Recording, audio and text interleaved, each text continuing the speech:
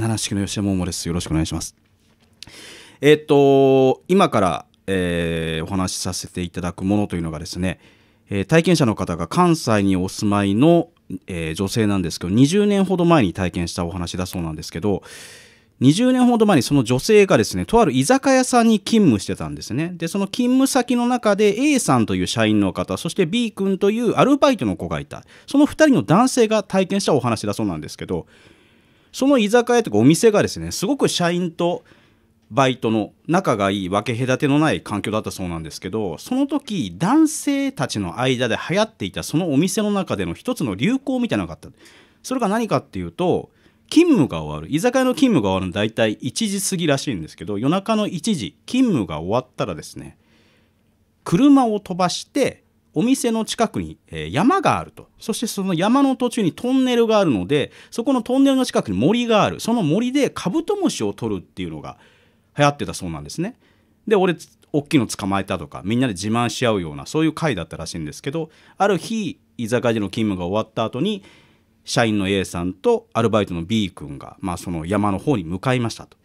でその日もトンネルの近くに車を止めて森の中でカブトムシを探したんですけど残念ながらその日はカブトムシが取れなかったあまあこんな日もあるかなっていうところで2人は車に戻ってまあもう深夜2時近くだから帰ろうっていうことになってアルバイトの B 君がこうハンドルを握って車を出そうとしたら森の隣にあったそのトンネルのところからですね一人の老人っていうのが自転車を落ちて出てきたんですって。でその老人の押している自転車っていうのが今の自転車じゃないと。戦中とか戦後、まあ、その辺の時代とかに新聞屋さんがなんか使うようなでっかい自転車を押しながらトンネルから出てきたそうなんですよ。であれ？深夜2時だぞなんだあれってことで2人はちょっと目を奪われて見てたらしいんですけどその老人っていうのがその自転車を押しながら2人の車の方に近づいてきたそうなんですよね。近づいてきて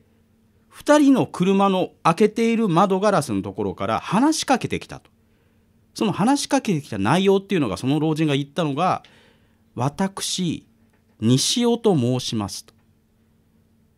自転車が壊れてしまって汽車に乗り遅れてしまいました。麓まででいいんで私のことを送っていってくださいなくださらないですかと言われたそうなんですよ。え？深夜2時だぞ。トンネルの中でこんな老人が頭の中でいろいろハテナが浮かんだそうなんですけど現実問題自転車が壊れたって言って困ってる老人が目の前にいることは確かだと。じゃあ分かりましたと。あの条件出します。でもこの自転車は置いていってください。乗せることができないんで。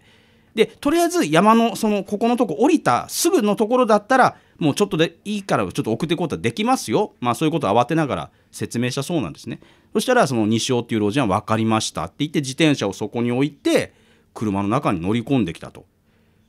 B 君っていうアルバイトの子が運転。そして助手席に A さん社員の方。そして謎の老人西尾っていうのが後ろの席に一人で乗り込んできたわけですよ。じゃあここから発進しますとか行きますってなるんですけどもう A さんは怖くてずっともう話しかけてたそうなんですねその西尾という老人に。なぜかっていうと大体こういうパターンって運転していってさあ着きましたよって言ってパッと後ろ見たらもう消えてるとかシートがぐっしょり濡れてるっていうパターンが多いと。じゃあこれだったら話しかけていけば消える隙間を与えないようにしようと思ってめちゃくちゃいろいろ質問したそうなんですよ。でどこから来たんですか？おいくつですか？とかいろんな質問を投げかけるんですけど西尾っていう老人の会社がすごく淡白であると淡白であると同時に一つ気づいたことがある。喋ってる途中で一つの話題が終わった。何歳ですか？何歳ですって答えた後にブリッジみたいな感じで私西尾と申します。自転車が壊れて汽車に乗り遅れてしまいっていうのを何かこっちが質問して受け答えした後必ずそれを入れるんですって。なんでこんなこと言うんだろう。さすがにおかしいよなって。A さんも B 君も思い始めたらしいんですけどここででも話を消してしまうというか会話を消してしまうと消えてしまうんじゃないかという怖さがありますからなんとかこの西尾っていう老人が食いつく質問をしなきゃいけないっていうところで一人 A さんがねこんな質問したそうなんですよ。あの西尾さんなんか例えばですけどなんかスポーツとかなんかそういう野球とかそういうの好きなのないですか？野球とかどうですかね？みたいな振ったんですよ。そしたら「あ野球いいですね私野球大好きなんですよ」って「あ食いついてきた。よかった」と思って「あそうなんです。えどのチームが好きですか?」ってその後立て続けに聞いたそうなんですけど。その西尾っていう老人が「いや野球はねすごくいいんですけど私はもう野球は見ることができないんですよね」そう言うんです。え見ることができないってなんか環境的なことで見ることができないそういうことですかっつったらあの私もう実はねこの世の人ではありませんから。言っちゃったよと。それ言っちゃダメじゃないかって A さんと B 君ももうびっくりしたらしいんですけど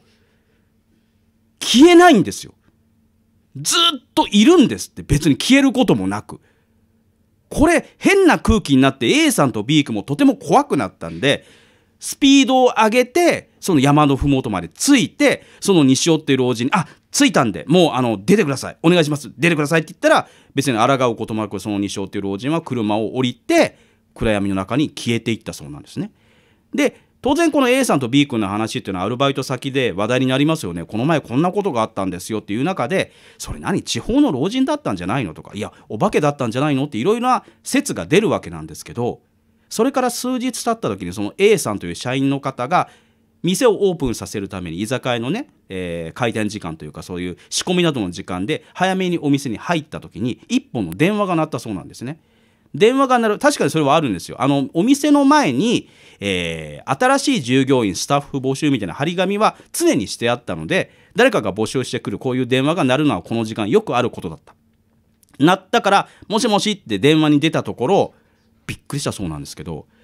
数日前に聞いた声が聞こえてきたと。私西尾と申します。